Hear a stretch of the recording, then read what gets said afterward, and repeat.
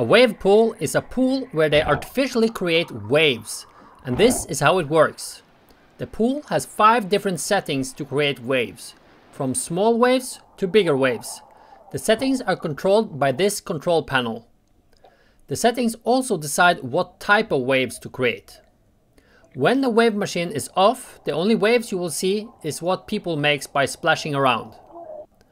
When they turn the machine on, the water gets sucked up and lifted inside these chambers by a vacuum, and then released or dropped.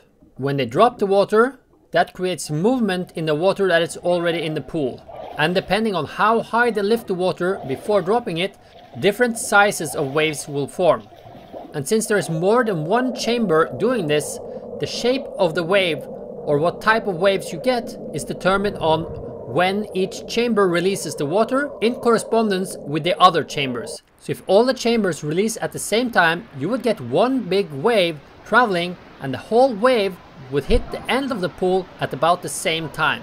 But if the chambers release at different times or looking a bit random, you get the type of waves you see here. If they release the middle chamber first, and then the chambers next to it, and then next to them, and so you would get a pool looking like an arrow, traveling so that the wave would hit on the other side of the pool with the center first and then outwards. So that is how a wave pool works. I hope you found this interesting and follow for more content like this.